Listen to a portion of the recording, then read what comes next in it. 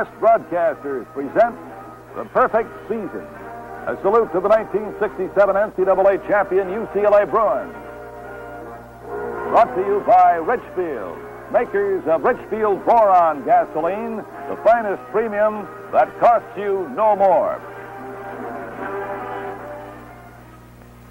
I doubt if ever a team in the history of intercollegiate athletics has been under such great pressure uh, from the time uh, you started practice uh, until the end of the season, you might say. And I doubt if any individual has ever been under any more pressure than Lewis uh, Alcindor was under. His name is John Wooden, and this is the story of how he and a team of remarkable young men lived the pressurized experience of the perfect season. Good evening. I'm Fred Hessler. Remember the great stall, the picture perfect dunks of Lew Alcindor, victory number 30 over the Dayton Flyers? Well, tonight you'll relive those moments and meet the six players who were involved in every game of the perfect season. A season that had something everybody talked about, but few experienced an intangible called pressure. These young men, with different backgrounds and varied personalities, reacted to it differently. Pressure, I think, was was in the people and the coaches. You know, I think they felt the pressure more than, than the players. Uh, for instance, after a game, uh, if we were to talk about uh, the game that, that we had just won or, or the game to come, I think the pressure would have mounted.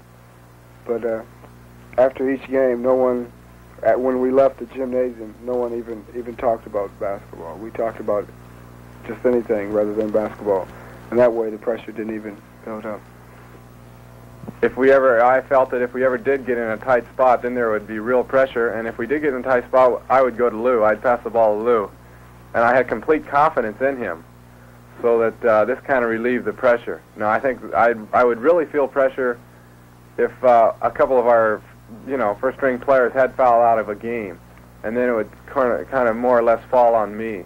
Then there would be pressure. But as it was, I didn't feel as much as uh, a lot of people think there was pressure. Uh, well, it was great most of the time. After a while, I, you know, kind of accepted it to be the way things were, and uh, it never bothered me after then. I think the pressure that would mean something would be pressure that came from within. And I think the fact is that if we had any pressure, it was just to play well and, and to do as well as to play as well as we were capable of doing. And Coach Wooden always emphasized that all he expected of us was the best that we could give.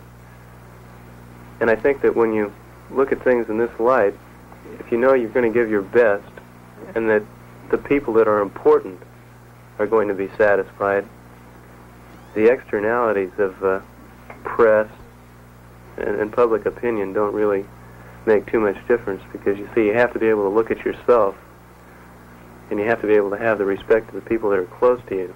And I think that's much more important than the, these other factors. And I think we, we had this all season.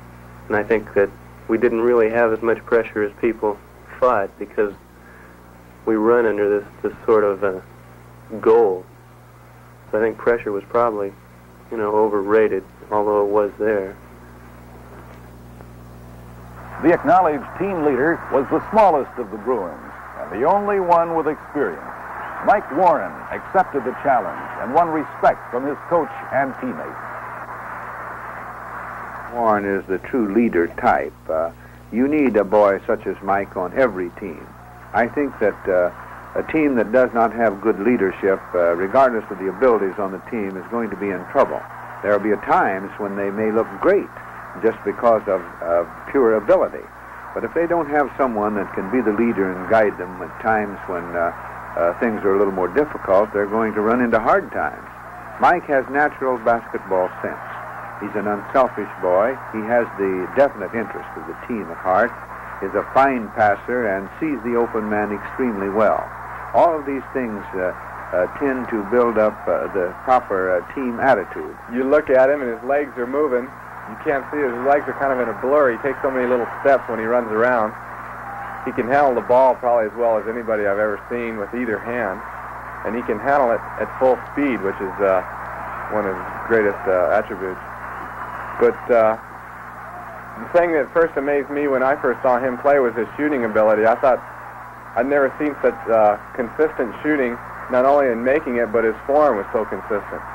He's the floor leader, and uh, he makes us uh, go just about. You know, he comes up with a good pass when you need it, and uh, kind of like just gives us a little bit of impetus on our offense. I think more than anyone on our team this year, he sacrificed his scoring potential and ability to help the rest of us, and particularly, particularly to help uh, sophomores such as myself and Lynn, the start of the year, get confidence in ourselves by passing up some of his shots to set us up more often. And I think he was just amazing what he gave of himself to make this the team that it was. I think that was one of the most crucial and overlooked factors of this season he can seem to dodge a guy when he's going his fastest and not even uh, think about it. I've seen him times when he gets the ball, and there'll be a guy right behind him, and he'll have his back to the man. He'll turn, and then he'll still be able to dodge the guy, not even knowing he's behind him. I think this is his great ability to handle the ball at uh, very fast speed. Significant events took place during the conference season for the Bruins. The first at Pullman, Washington against Washington State. The Bruins are in the dark uniforms, and at this stage, they are trailing by one point, and Lew Alcindor is sidelined with four fouls. This was our first road game. All of our other games prior to this time, including the uh, LA Classic, had been held in Pauley Pavilion. And with a young team, you're not sure exactly what's going to happen when you take them on the road for the first time, and particularly when you go to a place like Pullman, Washington, where we've had trouble up there with real fine teams before, and many teams have had uh, uh, trouble up there. It's a difficult place to play. The fans are very rabid and support their team tremendously well, and that has a decided effect, and I think makes Washington State play extremely well. Uh, therefore, I was concerned about how we would play. We met pressure for the first time up there, and actually, it's the only game during the entire season that we trailed in the second half, and we were behind by one point for a few seconds at any rate in the second half of that ball game. So when we came back after being behind in the second half and with Lew in foul trouble and won by nine points and apparently had the ball game in hand in the last couple of minutes, uh, that was a most gratifying win and I think uh, meant a lot to us as well.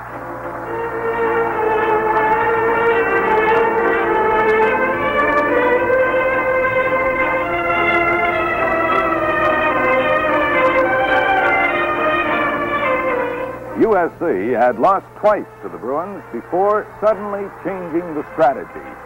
Although difficult to realize at the time, the game may have helped the Bruins more than any other during the season. We had been expecting the Stall game uh, prior to that time and thought we were ready for it, but there's nothing like uh, meeting it in competition, and we hadn't yet met it in competition.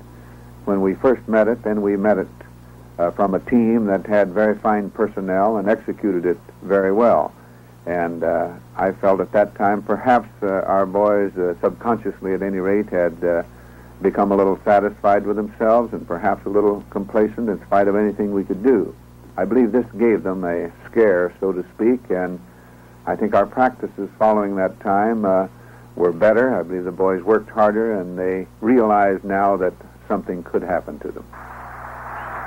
At this point of the game, the Trojans decide to hold the ball for one final shot. The score is tied. If they make it, they'll pull the college upset of the year. If they miss it, it goes into overtime. Hewitt's shot missed. The Bruins won in overtime 40 to 35. The hero was the team's sixth starter, Bill Sweek, but he was almost the GOAT. Sweek will comment about the game. Wooden will comment on Sweek and the Bruin players will comment on the game's importance as the overtime action continues. And when I first got in there, I was uh, fairly tight because I hadn't played at all in the first half, and I wasn't very warmed up when I went in. I remember before I really got warmed up, I first time I got the ball, I think I threw the ball at the referee. See, I saw him out of the corner of my eye, and I thought he was a teammate.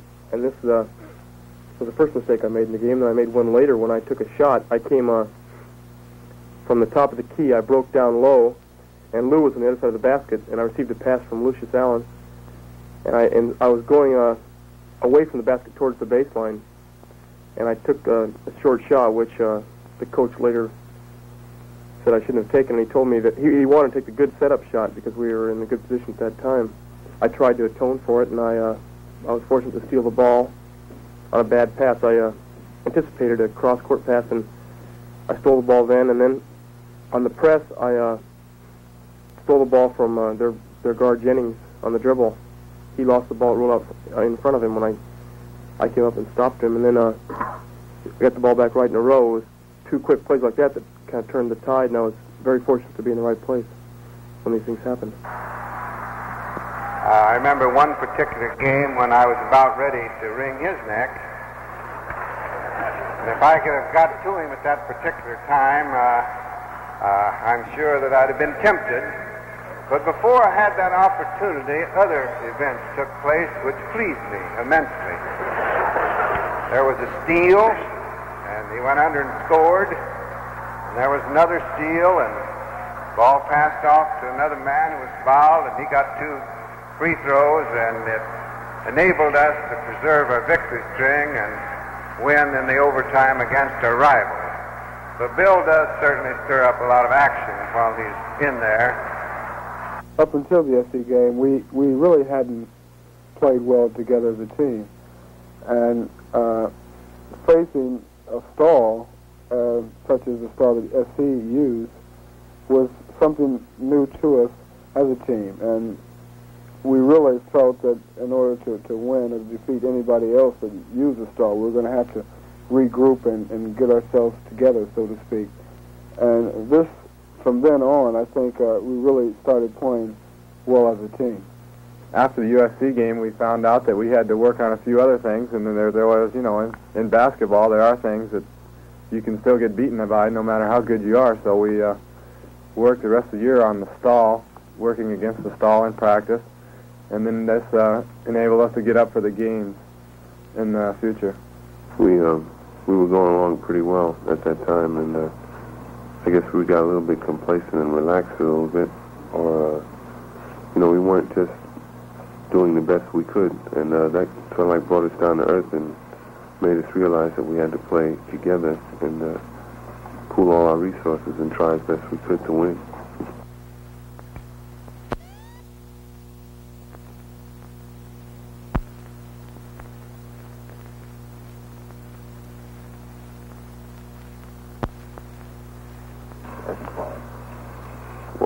I just go out there to win the game. I do everything I can to win the game. You know, I try to put the ball in the hoop and I try to play some good defense.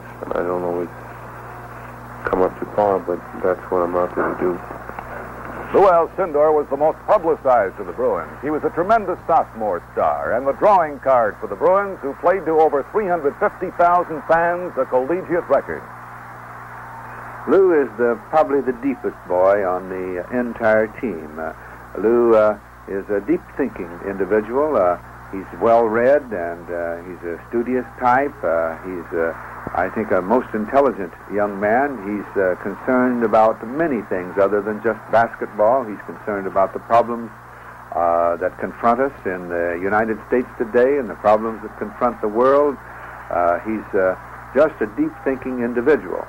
I'm sure that he puts basketball in the proper perspective. He doesn't put it ahead of his academic uh, work, and I don't think any boy should. Uh, he's uh, uh, would appear to be moody uh, in as much as uh, he's not uh, a smiling type of an individual as Lucius is, for example.